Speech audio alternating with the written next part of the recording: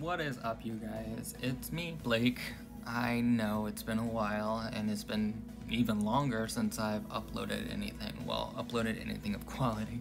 So I just wanted to come back strong and introduce you guys to a new beauty and skincare brand called Pop Beauty.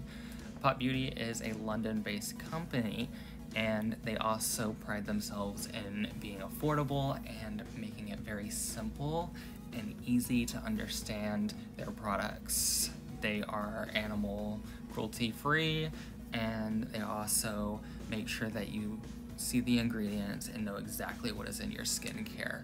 Um, as you see, prices range from $10 up to $18 and very simple marketing, which is different for most.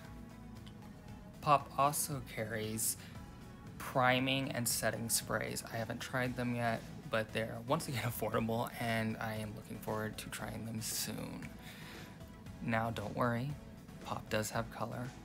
Color Pop, Pop Color, whatever you want to call it, they have palettes, they have liquid eyeshadows and lipsticks. Haven't got around to trying them yet, but I will very soon and let you guys know. However, what I am trying is the Pop Beauty skincare, and you know me, I want to make sure it works, so I'm trying it for a few weeks before I give a full review.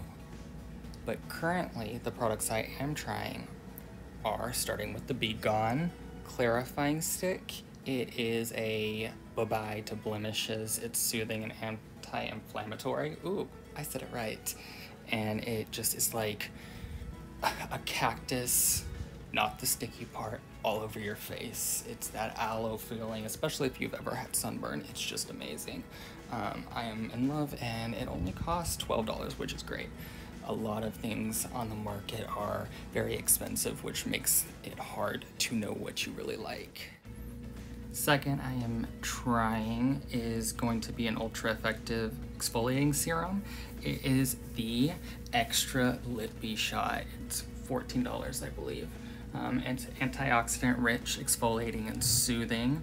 Um, I will just say that when I used it, it smells really good, but it's not this perfumey scent that you get with a lot of skincare, which I love.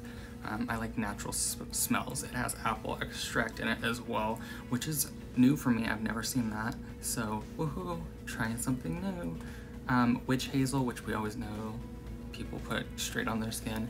Um, I like it, it works for me. It might not work for everybody, but it's pretty universal from what I know.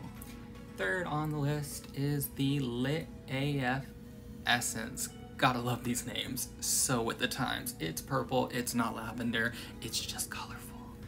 But what it is, is a multitasking gel. It is packed with hydrating, rejuvenating, ingredients that also energize your skin.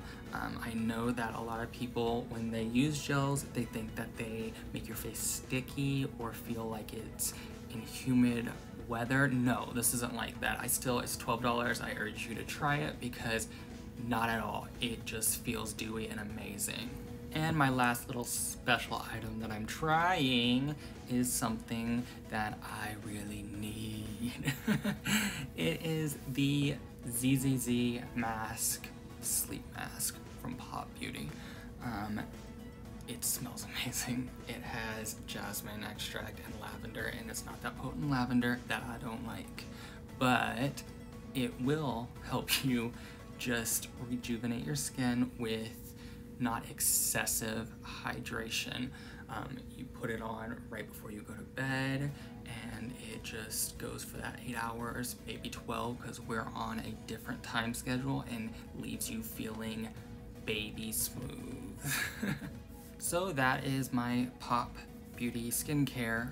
Only four items out of many and I'm already loving them just from the first try. It doesn't feel at all awful in my skin. So looking forward to trying them in the next few weeks and giving you guys a full review very soon. Bye guys.